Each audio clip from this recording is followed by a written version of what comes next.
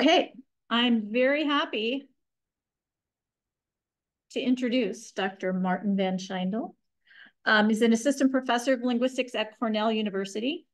Professor Van Schijndel is a computational psycholinguist who studies the relationships between computational language models and psycholinguistic data, such as reading times. He also studies neural network representations of language to understand what aspects of language can be learned from language statistics directly without having experiences in the real world.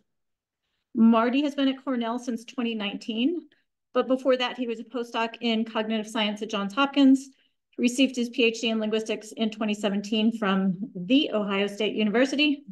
Um, but most importantly, before all of that, Marty was a student here at Western, where he majored in linguistics, graduating in 2009, and was uh, one of our star students. So in today's talk, Balancing Input and Imagination, Dr. Van Schijndel will discuss computational and experimental socio psycholinguistic work that explores the trade-offs humans make between predictive processing and incorporating different types of linguistic input, phonotactics, syntax, and discourse during incremental, incremental language comprehension. So um, please feel free to put questions in the chat for those on Zoom.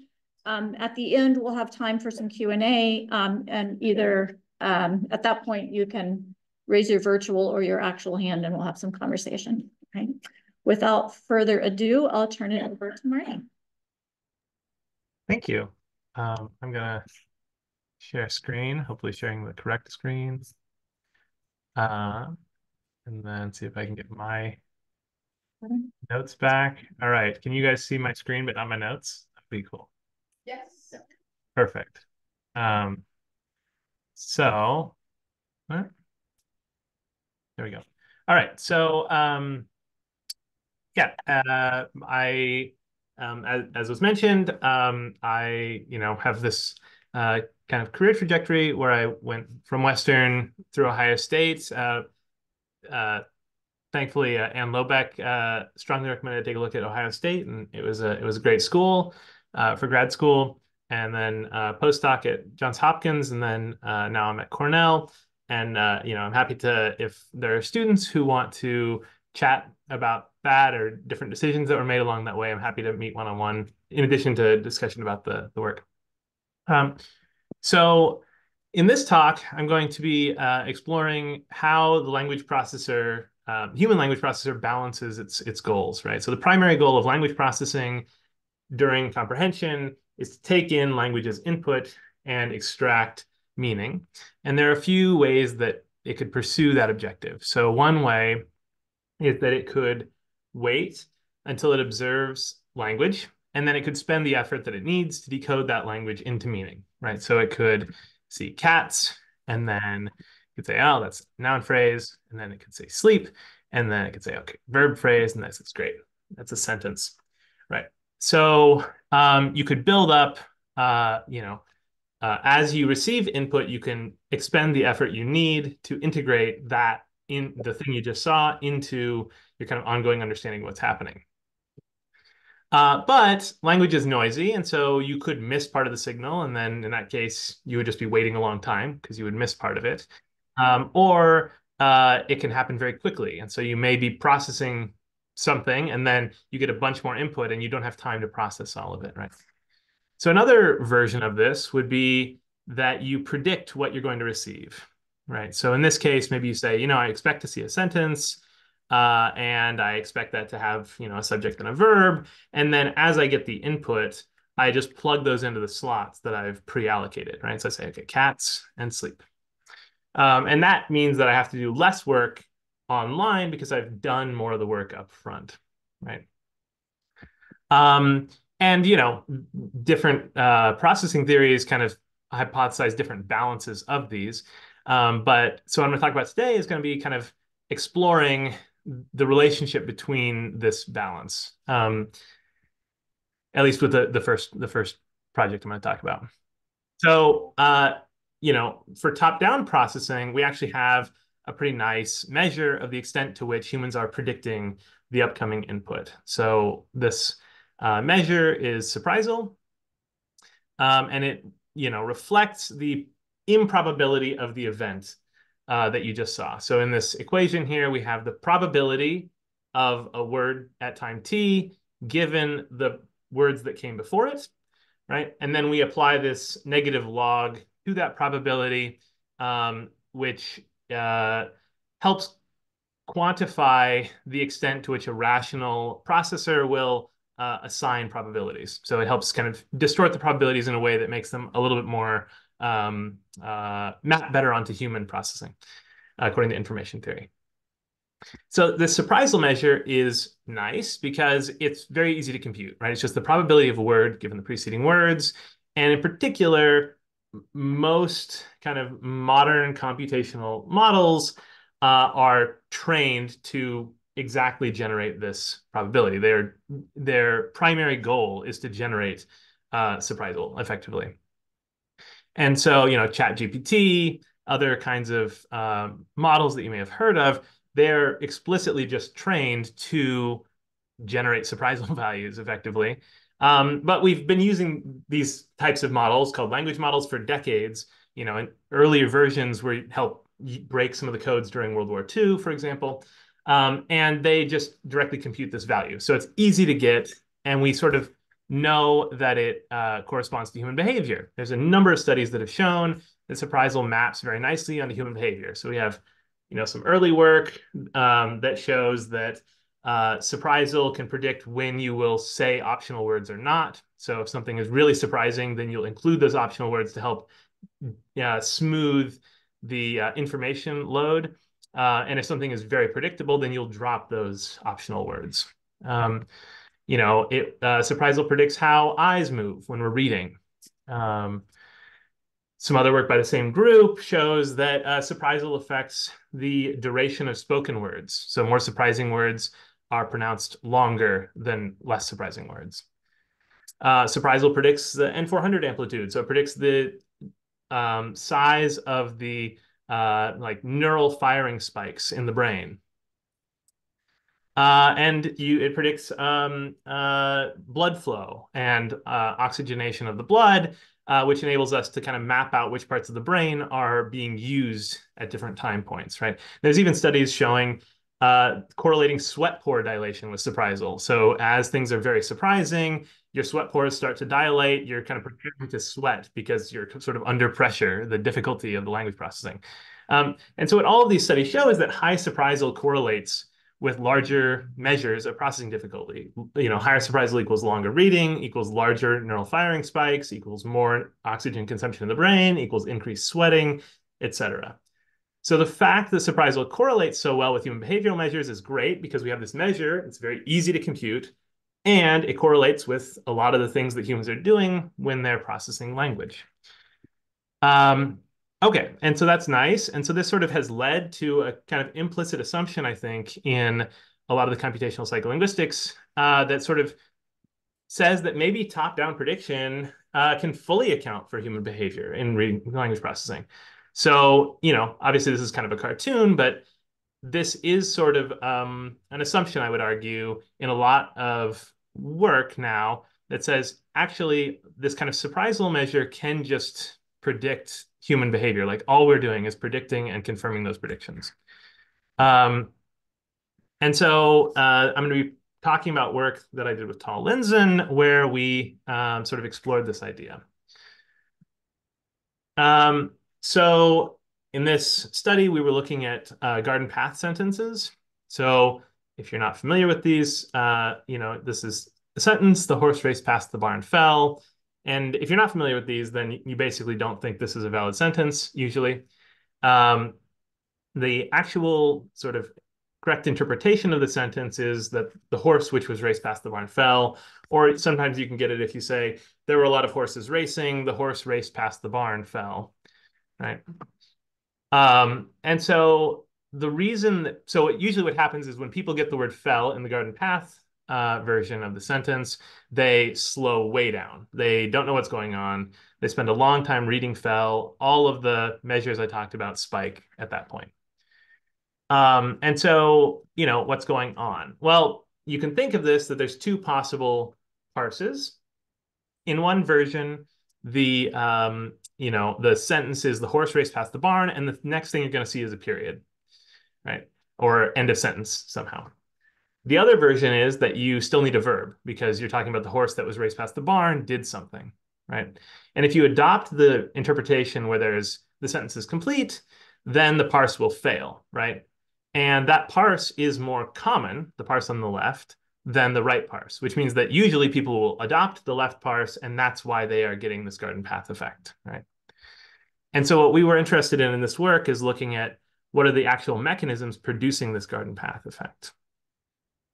So uh, one version, the kind of older model, is this serial tree surgery model. That's my name for it, but it shows up a lot. Um, and it's basically the idea that what's happening is you are adopting an interpretation of the sentence as you read it.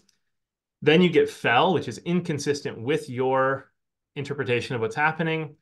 So some part of your brain goes through and identifies the parts of the parse that are inconsistent with this new input and you know somehow chops them out and then uh, and then builds new structure in order to incorporate that uh, that new observation.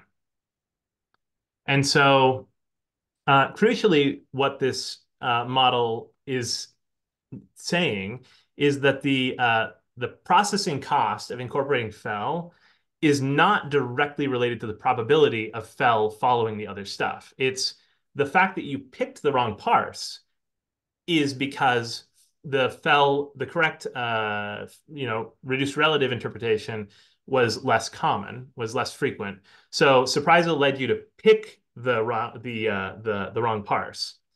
But once you did that, the amount of repair that you have to do is not tied to surprisal right? It's it's tied to however much effort it is to use these tree surgery mechanisms. Um, the other uh, kind of model that's out there is this parallel, fully parallel re-ranking model, which is the model that is adopted usually in computational psycholinguistics. And in this version, what's going on is that you have, uh, you know, you actually maintain all of the possible parses of what you could what you could be uh, perceiving. And what's happening is that you have more resources, more cognitive resources uh, allocated to the more probable parse. Um, and then what happens is you get, so you have the more probable parse, uh, which is expecting end of sentence, and you have the less probable parse with less resources that's expecting a verb phrase. And then you get fell, which is only consistent with the less probable parse. And so you have to reallocate your probability mass in your brain uh, from the now invalid parse to the apparently correct parse. And the amount of probability mass you need to reallocate is the effort that you need to expend to get the correct reading. And this means that surprisal itself will tell you how difficult it is for somebody to repair the structure because you have to go, you have to reallocate, you know, 80% of the probability mass. Well, then however long that's going to take is how long it takes you to reallocate 80% of the probability mass. So if you know how long that takes, you could directly predict how much someone will be surprised by a garden path effect. Right. Um, and there, there are a few other theories uh, of, of processing as well, but I'm going to kind of focus on these two as the two sort of extremes in the, in the literature. Um, and the key here is that if in the second model, surprisal can directly predict the amount of difficulty people experience in these kinds of constructions, right? And that would imply that the parser is very much relying on these top-down predictions rather than other sorts of things. Okay. And so, you know, uh, a lot of work, uh, including work out of my group, has shown that language models, surprisal, can predict garden path existence, right? Um, and specifically, uh, people have known for a while that um, syntactic parsers can predict garden path existence. So in this case, we're showing that these kind of language models can do so as well. Great. So Surprisal can predict the fact that people will garden path. And what we're interested in is whether or not Surprisal can also predict the amount of uh, difficulty people have when they garden path. But this is tricky because Surprisal is in bits, right? This kind of log domain and people read in milliseconds, not in bits. So we need a way to map bits of information to milliseconds of reading time. And luckily, we have a previous paper, uh, I mean, not my paper, but there is a previous paper showing that actually there's a few that show that uh, surprisal can linearly uh, uh, is linearly related to reading times. So what we have in this graph is along the x-axis of each of the um, uh, of each of the uh, uh, uh, subplots, we have the probability of something, and we see that as the probability gets larger, then it takes less time to read something, right? And so in that first subplot, we have how much the surprisal of the current word influences your reading time of that word.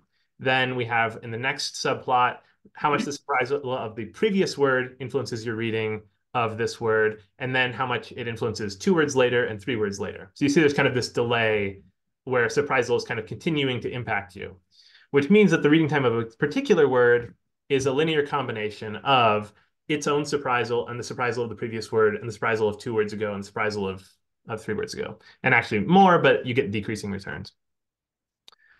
So that's great. What that means is that if we can find these linear factors, we can directly predict if surprisal is, is all that there is, we can directly predict the amount of reading time people will have at a given time point using this linear combination uh, and measures of surprisal. So where do we get the measures of surprisal from?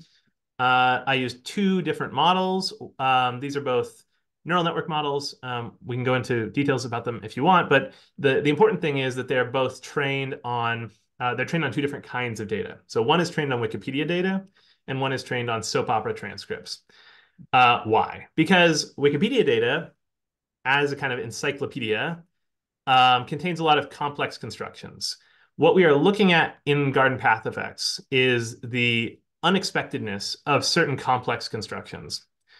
Those constructions are overrepresented in Wikipedia, which means that a Wikipedia-based model is likely to underestimate the difficulty people will have with complex or long sentences. Uh, conversely, soap operas, while they have convoluted plots, do not tend to have long, uh, at least soap opera, you know, uh, sentences tend not to be overly long or syntactically complex, right? So they might, they might uh, overestimate the difficulty, right? Which gives us this nice bound that we would expect that, if anything, the Wikipedia model should underestimate the difficulty people have, and the soap opera model might overestimate. But that gives us a nice bound, a nice, uh, a, a nice bounds that we can say, well, the human effect is probably somewhere between a soap opera transcript and an encyclopedia, right? Um, okay. So that we can get, we can use these two models to extract surprisals. Uh, and then we need to find those linear uh, factors. And so for that, I just took other reading time data that does not include uh, garden path sentences and found, you know, across all of this reading time of uh, what 80 sentences or about 224 participants, uh, and then controlling for things like word length and things like that, how much of an impact does the surprisal of the current word have on the reading time and the surprisal of the previous word and surprisal, so I can get that linear combination. And then I can take that to our garden path sentences or to any corpus and say, okay, according to surprisal, how much reading time should we expect for each of these words? And then uh, we tested this on um, three different kinds of garden path sentences. So we tested this on NPS sentences, like uh, the woman saw the doctor wore a hat, where saw initially people interpret it as having a noun phrase complement the doctor, and but it turns out it has a sentential complement that the doctor wore a hat, and so people need to reanalyze it at wore a hat. Uh, we have NPZ garden paths. When the woman visited her nephew, laughed loudly, right? So here, uh, people initially think that her nephew is the complement of visited, but in fact, visited is intransitive. And so when they get laughed loudly, they don't have a subject to attach. Uh, and then we have the main verb reduced relative that I've already talked about. And what we're looking at in all three of these constructions is the difference in, you know, in reading times or in surprisal at that disambiguation point where people realize that something is wrong, right? And we compare the difference, like how hard is it to process the horse race past the barn fell in the garden path version versus the horse which was raced past the barn fell. The difference between those two reading times is called the garden path effect. And so in this case, we're going to, you know, estimate that using our linear combination of surprisals at that time point from our two models. And so what we end up with is this. So uh, we see that for NPS, neither of the models, pink is the Wikipedia model, green is the soap opera model, and blue is the human reading times uh, at the Garden Path site. We see that neither model is able to predict this, uh, this effect. Um, and moreover, we see there's not a ton of difference between a Wikipedia-based model and a, and a uh, soap opera model, surprisingly. And the same is true for the other constructions. So um, first off, we sort of can conclude that this is not a function of the training data because we kind of picked two different kinds of model training data that are radically different. And so, so it suggests that this isn't a function of like, oh, we should have picked a different kind of data because the kind of data doesn't really seem to matter in terms of the model predictions. Um, we can also see that there isn't really a linear scaling that will work. So you could say maybe our uh, linear um, uh, factors that we use to map surprisal onto reading times was were wrong, and we need to, you know, make them bigger or something. But that's not going to work because NPZ and MVRR are harder than NPS, but the models find them easier to process. So even if you scale up the NPS model predictions, uh, it will still underpredict the NPZ and MVRR. And if you scale up NPZ and MVRR, you're going to overpredict the NPS. There's not really a good way to get the right uh, the right sort of pattern here. And subsequent work has followed up on this and shown that actually we were sort of being overly generous to the models, and the models are actually do actually even worse than than what we said in this paper. But um, so this sort of concludes uh, the way we we we we conclude that there are human factors beyond predictability, right? There's possibly syntactic repair mechanisms that we don't have access to in the data. And this is a problem for computational modeling because it means that there are parts of the processor that you will not be able to see in data. And this is partly because uh, we train models um, based on, you know, actual language data. And that means that we only have access to kind of production data. we don't have access to the to the comprehension statistics or the comprehension process really um, and so you know in terms of machine learning or this kind of stuff we're we're going to have a really hard time getting access to that because people don't generate their tree repairs when they're generating language. Um, for the purposes of this talk um, it also suggests that the processor relies more on bottom-up processing than is generally assumed in computational linguistics because there is less, it's not fully parallel predicting every possible thing it could be seeing at once top down, right? So that means that there is more uh, bottom-up um, processing that is resulting in changes to that top-down structure that you're predicting. And so in the next section of the talk, I'm going to talk about ongoing work with my PhD student, John Starr, um, and this is ongoing work. So if there's feedback, you know, um, I would, uh, you know, be happy to incorporate it so we can make the work stronger. Uh, so while the previous section of the talk probes the extent of top-down processing in humans, in this work, we're looking at the extent to which humans balance different kinds of input signals. Take a drink of water here.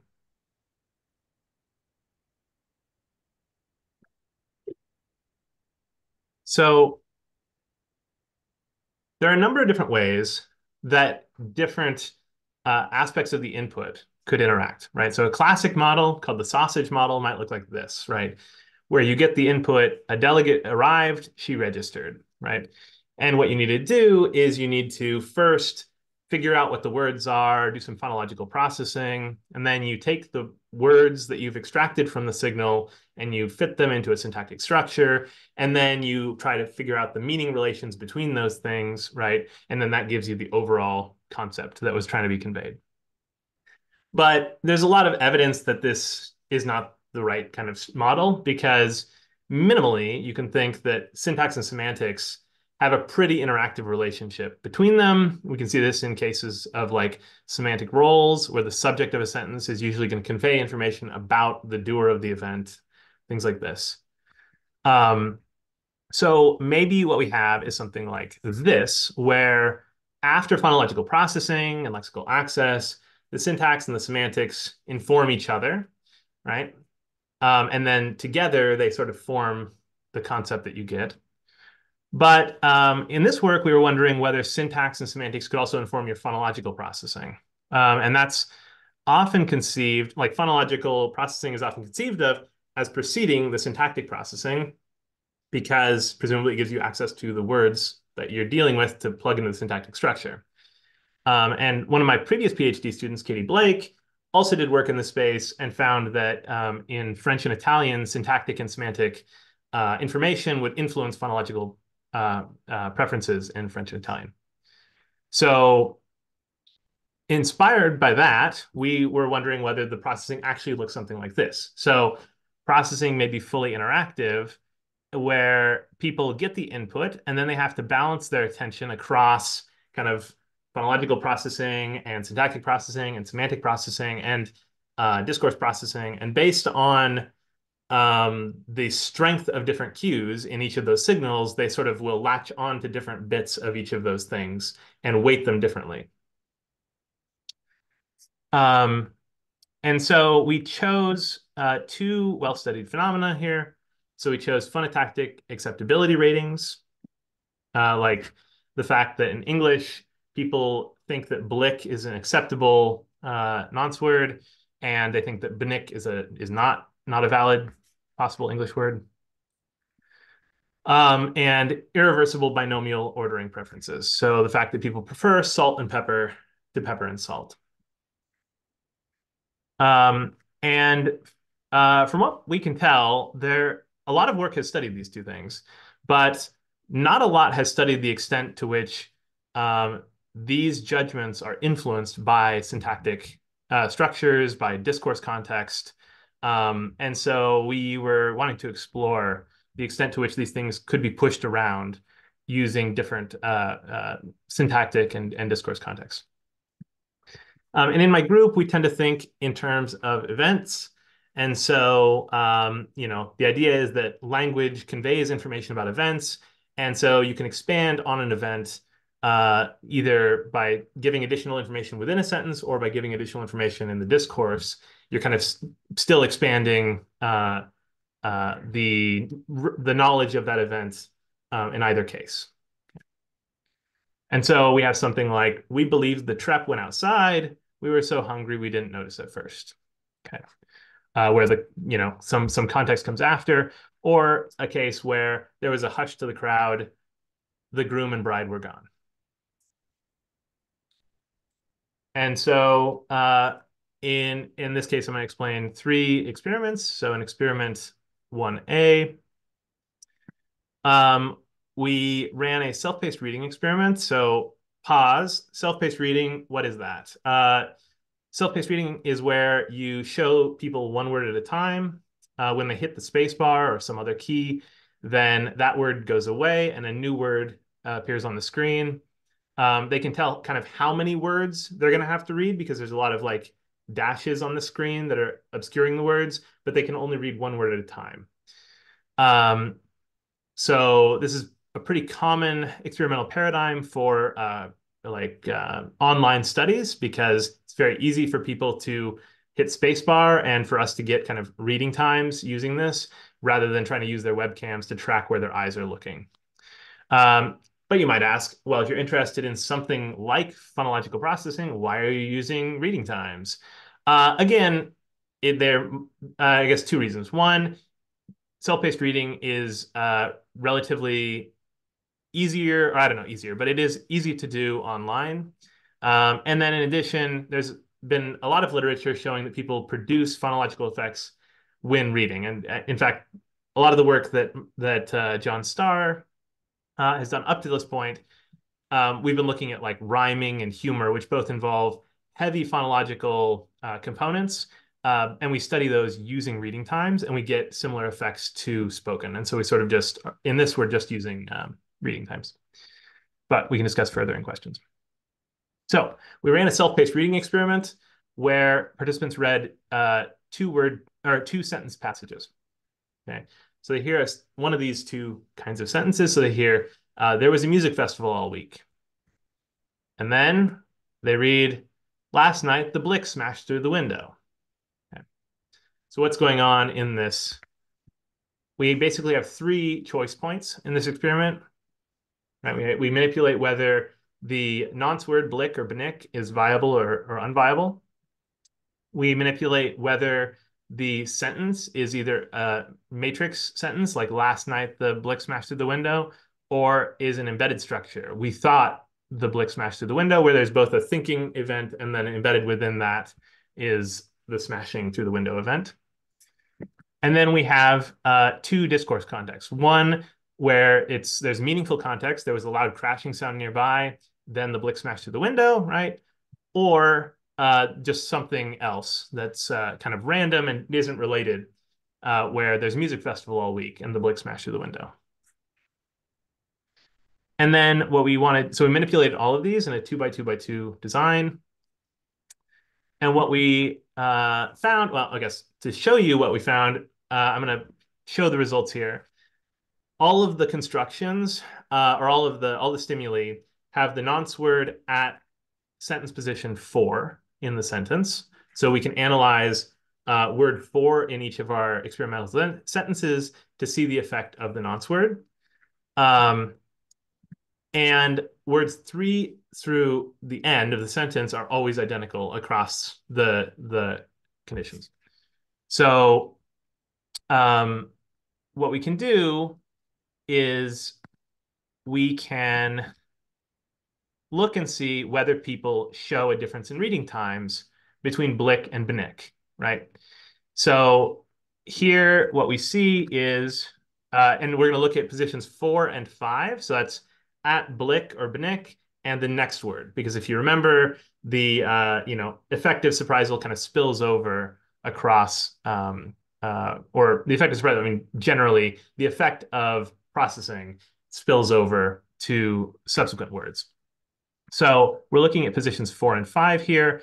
And what we see is that in the case where you have a matrix sentence, so it's not embedded syntax, uh, and it's meaningful discourse context, you get that Bnick is worse than than uh, Blick. Okay, the red line is above the blue line significantly at this point. And you don't get this in the case where you have embedded uh, embedded syntax and meaningful uh, discourse. And we also get the same kind of effect at at Blick or Bnick when uh, when you have random discourse context. Um, and so what we can what we conclude from this is that phonotactic judgments arise in matrix syntactic uh, matrix uh, syntax frames.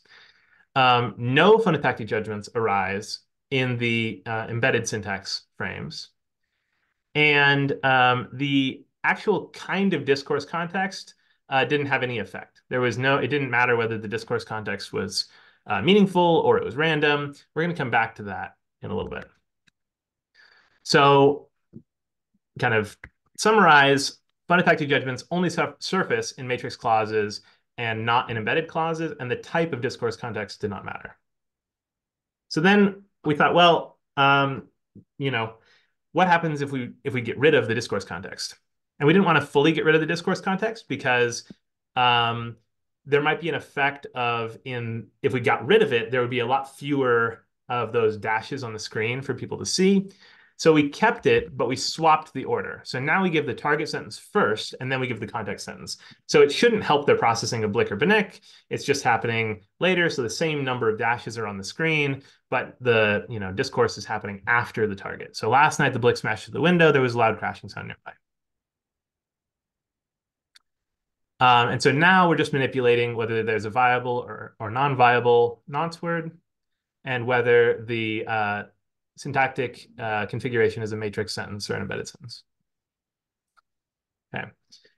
And what we found is that uh, when there was a matrix, uh, when when the when it was occurring in a matrix condition, um, we saw the effect the word after the nonce. Whereas in the embedded syntax condition, we saw the effect at the nonce.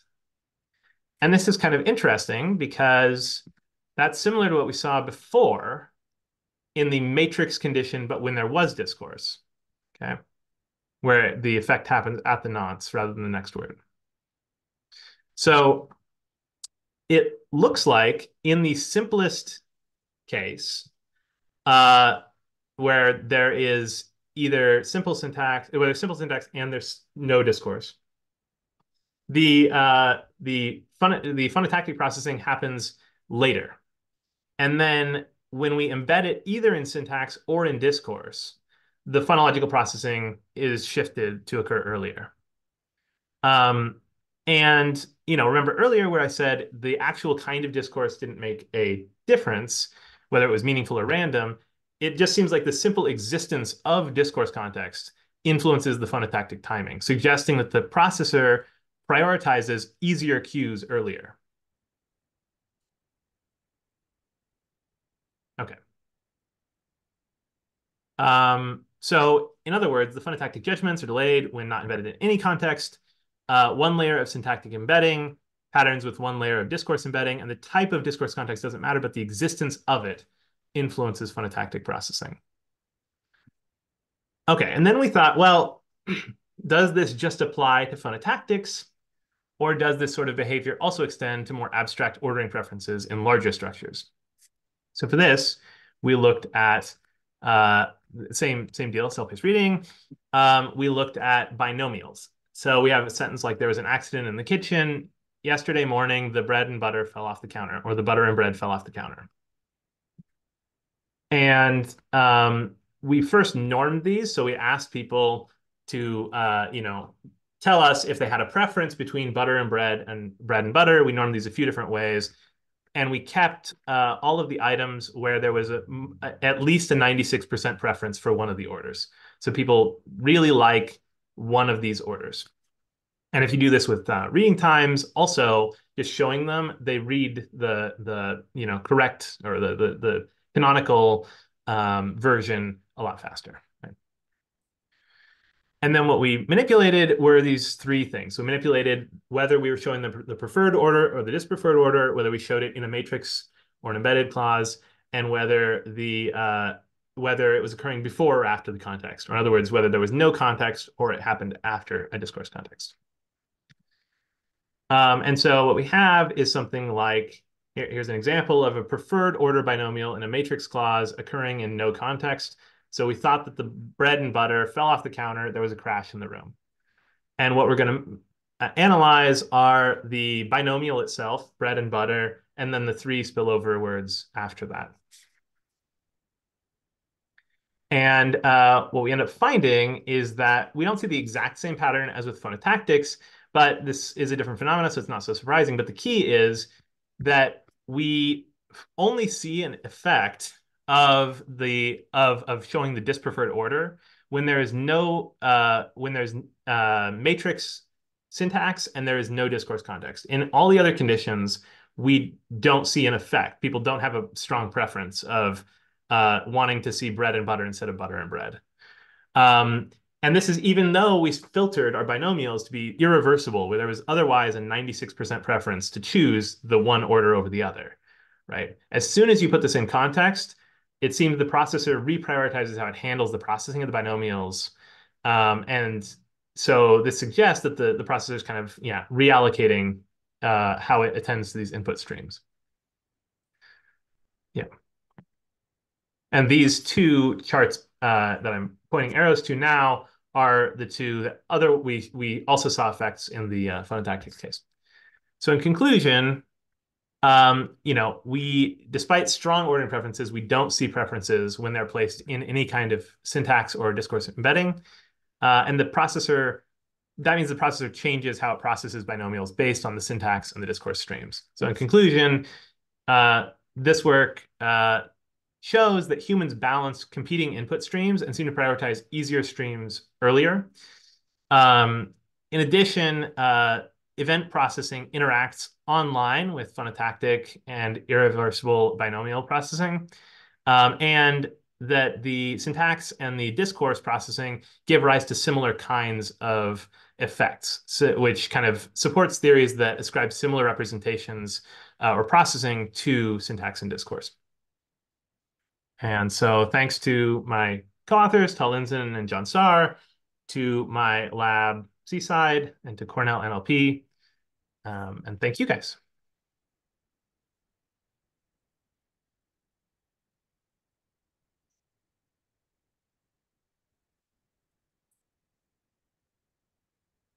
Thanks, Marty. We will open it up for questions, the Zoom room or the Miller Hall one fifty-four.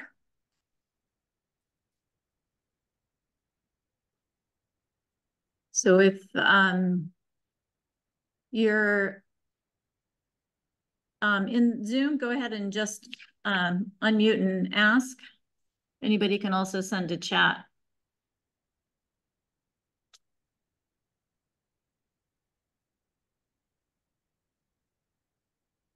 See faces I haven't seen for a long time. Sam's here. I have a question, maybe? Yes, go Jordan. Okay. Um, I, I took a note when you said, uh, people don't generate tree repairs in their production. And so we don't have, Hmm. uh, computational data on, uh, on their, on their production of that.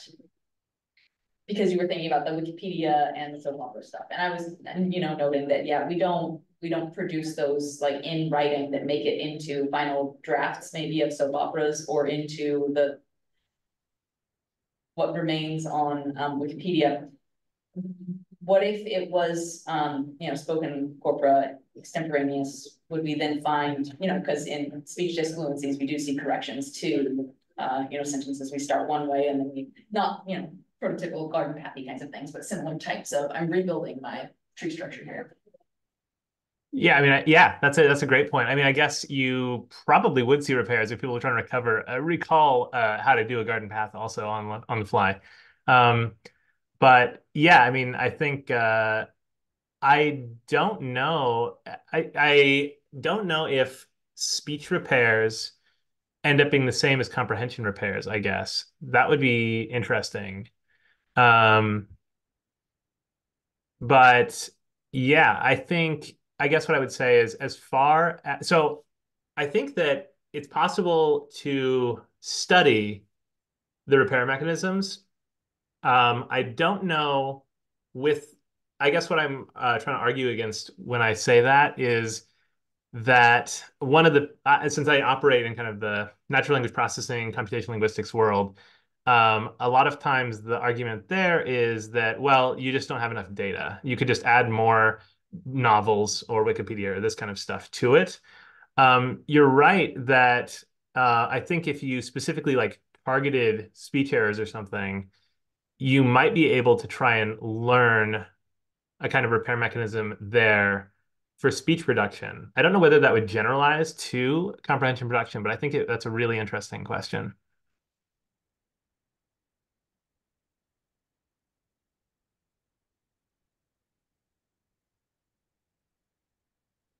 I have a question that's like very broad. Um, earlier, like way at the beginning, I also don't know a lot about this topic at all, just to preface my question. Um, earlier at the beginning, you were talking about, you know, surprisal and the, the findings people have found with that. And you mentioned a study that shows that people are more likely to use optional words when it's like high surprisal. Um, so that's about production, right? Like if there's something that I don't have to put in there, I'm more likely to put it in there if it's, you know, high Mhm. surprise.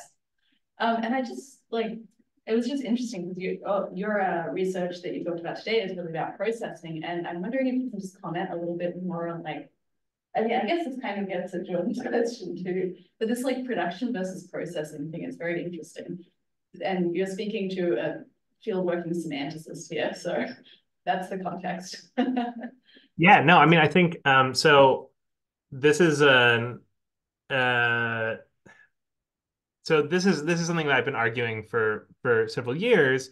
Is that um, what I think a lot of computational modeling people would like is a model of comprehension, and so they train. You know, a lot of the tasks that we have are comprehension, where you're trying to read something and understand it, or you're trying to guess the entailments that something has, or things like this. So a lot of the tasks are comprehension focused. Um, you're trying to read something and summarize it, right? Um, but the only data that the models have is production data. And so I think like the the optional uh, use of that or things like this are production effects, and so the models do a good job of modeling that because the data is production focused.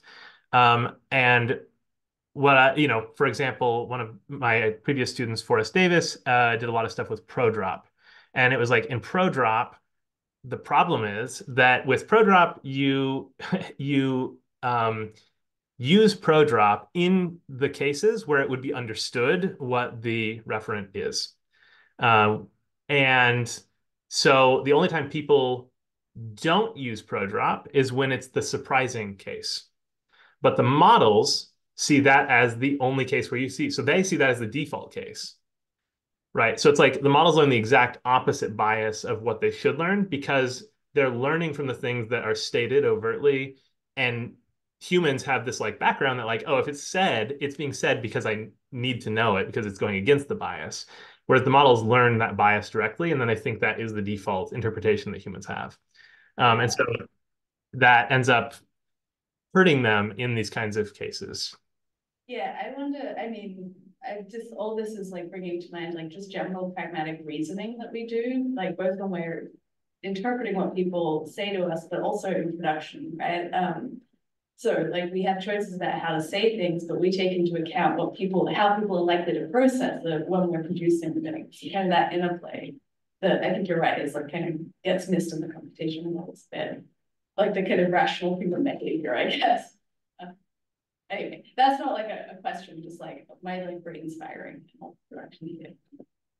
Yeah, I mean, I think I think it's an interesting dilemma as to how you get it. I think like now um some of the implicit um, acknowledgement of that comes from the fact that now like a lot of the big models like ChatGPT and stuff are trained. You show people this, you say, is this what you meant? And then they say yes or no. Like you're trying to get that feedback because the comprehension part isn't present just in Wikipedia or whatever you're training on. It's got to be through this kind of like interactive process of asking people their comprehension judgments. Sam, did you unmute? I did very briefly. Uh, thank you so much. This was such an awesome talk. I'm always delighted to see what you're working on. I've obviously been a fan of your work for like 20 years now, which is an insane number to throw out loud. Um, so I am also somebody who's struggling with how uh, much explicit structure to include in a model versus, you know, uh, you know, the large language model approach of assuming it's it's emergent from the data. So I'm really uh, uh, just delighted to see this work. Um, I really don't know how to address this dilemma either of like the the classic how do you model the I language from the E language, right? How do you take what's external in a production and assume the comprehension? Because I'm thinking of domains in which that's done, like uh, developmental or child language, and that requires a behavior that then we make assumptions off of what structure we think exists based on that behavior. And without, you know, ChatGPT able to turn its head and look at something or listen to something like a child can, and I just don't know. Um, this all leads me to a, a really uh, uh, kind of random question. Do you have any uh, inkling or do you know of any work that um, tries to build an iterative understanding in which it's you start with sort of more simple data much like a child might, and let the model master that before moving on to more complicated structures as opposed to, uh, you know, receiving all of this at once. And is that a suitable way to simulate uh, the building up of an I language? Um, yeah, so I mean, I think one of the so the the push from the NLP side, the natural language processing side, is that one of the problems with these big models is they consume so much data. They require so much data to get any kind of traction. And so from the engineering angle, it's very attractive, I think, to try and figure out how how do kids learn because they do it with a lot less data, but arguably, I mean, you know, they do it with different kinds of data, but they do it with a lot less language data. And so how can we can we use that as inspiration to make the models more efficient rather than just burning through years of compute time to get whatever. Um, and I think uh, so. So there is recent. There was recently a challenge called the Baby LM Challenge. I don't know if you saw this at uh, at the CoNLL um, Natural Language Learning Conference, where they had this. They always had a shared task, a kind of a competition. And so in this case, it was the Baby LM Challenge. And so it was, can you? What can you learn from a relatively small amount of data? Um, and the winning systems uh, it, it was sort of one of these examples where it was kind of like the winning systems did things that were maybe um, less sophisticated than you would hope, and they were able to get traction using kind of um, methods that are probably don't generalize very well. And so I think there is interest in this, uh, especially from the efficiency and training perspective. Uh, but and and there is interest in this also, I guess I should say. I know some work doing like speech um, where they try and like from speech data kind of slowly um, learn categories. So you try and learn phonological categories or phonetic categories from speech, and you do that iteratively. And what those have found that the models are very expensive to train, more expensive than language models, but they do give rise to kind of similar clusterings of the kinds of um, errors that children make. Um, so there is interest in it, but I don't it's not outpacing the language model. Um, yeah.